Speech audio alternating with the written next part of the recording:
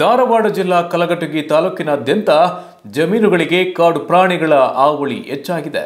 ಕೈಗೆ ಬಂದ ತುತ್ತು ಬಾಯಿಗೆ ಬರದಂತಾಗಿದೆ ರೈತರ ಬದುಕು. ರೈತ ಮುಖಂಡ ಬಿವೈ ಪಾಟೀಲ್ ಆಕ್ರೋಶ. ಕಲಘಟಗಿ ತಾಲೂಕು ಅಸ್ತಕಟ್ಟಿ ಗ್ರಾಮದ ಅರಣ್ಯ ಅಂಚಿನ ಭಾಗದ ಜಮೀನುಗಳಲ್ಲಿ ರೈತರು ಬೆಳೆದ ಬೆಳೆ ಕಾಡು ಪ್ರಾಣಿಗಳು ಸಂಪೂರ್ಣ ಹಾಳು ಮಾಡುತ್ತಿದ್ದು, ಕೈಗೆ ಬಂದ ತುತ್ತು ಬಾಯಿಗೆ ಬರದಂತಾಗಿದೆ.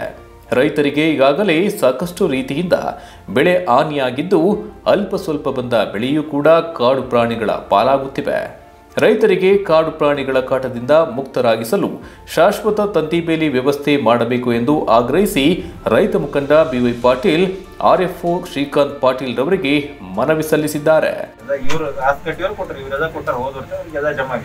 ಇದನ್ನ ಈ ಸದ್ಯದ ಮಟ್ಟಿಗೆ ನಾವು ಮಾಡಕ್ಕೆ. ಅದ ಸರ ಈಗ ನಾವು ಏನಂತೀವಿ ಈಗ ಸಾಂಸ್ಕೃತಿಕ ನೀವು ಅವ್ರಿಗೆ ಕನಿಷ್ಠ ಏನೋ ಸೌಲಭ್ಯವನ್ನು ಮಾಡ್ಕೊಡತ್ತೀವಿ ಅದಕ್ಕೂ ನಾವು ಒಪ್ಪಿದ್ರಿ ಈಗ ಅದೇ ಏನು ದುಡ್ಡು ಆಗೈತಿ ನಾವು ಯಾರು ಸರ್ವೆ ನಂಬರ್ ಹಾಕಿ ನಿಮ್ಗೆ ಏನ್ ಡಾಕ್ಯುಮೆಂಟ್ಸ್ ಬೇಕು ಎಲ್ಲ ಕೊಡ್ತೇವೆ ನಮ್ಗೆ ಅದು ಪರಿಹಾರವನ್ನು ಕೊಡ್ತಿರ್ತಾರೆ.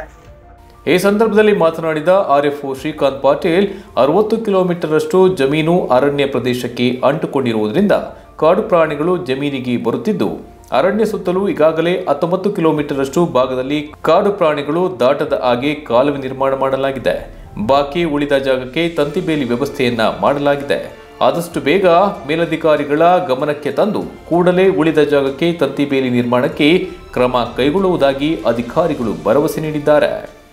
ಬೀರುವಳ್ಳಿ ಬೆಂಡದಗಟ್ಟೆ ಬಾರ್ಡರ್ ಇಟ್ಕೊಂಡು ನಮ್ಮ ಹೊಳೆ ತಂಬೂರು ಇಲ್ಲೇನ ಇವ್ರದ್ದು ತಾವರಗೆರೆ ಬಸಗಟ್ಟಿ ಬರ್ತಾರಲ್ಲ ಎಲ್ಲ ಆ ಪೋರ್ಷನ್ ಕವರ್ ಆಗ್ಬೇಕು. ಇನ್ನು ಹದಿಮೂರು ಕಿಲೋಮೀಟರ್ ಕೊಟ್ಟರೆ ಎಷ್ಟು ಐತೆ ಸರ್ ಅದು? ಅಲ್ಲಿ ಪೂರ್ತಿ ನಮ್ಗೆ ಹದಿಮೂರು ಕಿಲೋಮೀಟರ್ ಹದಿಮೂರು ಕಿಲೋಮೀಟರ್ ಕೊಟ್ರಷ್ಟೇ ನಮ್ಗೆ ಅಂತ ಈ ಸದ್ಯ ಹೆಂಗೈತ್ರಿ ಹೋದ ವರ್ಷ ಹತ್ತೊಂಬತ್ತು ಕೊಟ್ಟರು ಈ ವರ್ಷ ಹದಿನೈದು ಕೊಟ್ಟರು ಇಪ್ಪತ್ತೆಂಟು ಕೇಳಿದ್ದೇವೆ.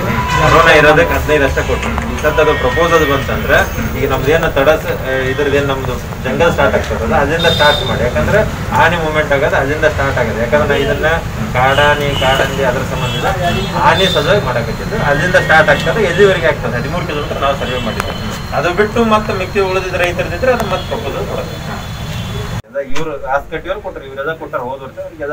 ಇಲಿಯಾಸ್ ಗಿಡದನ್ನವರ್ ಟ್ವಿಟರ್ ಕನ್ನಡ ಧಾರವಾಡ.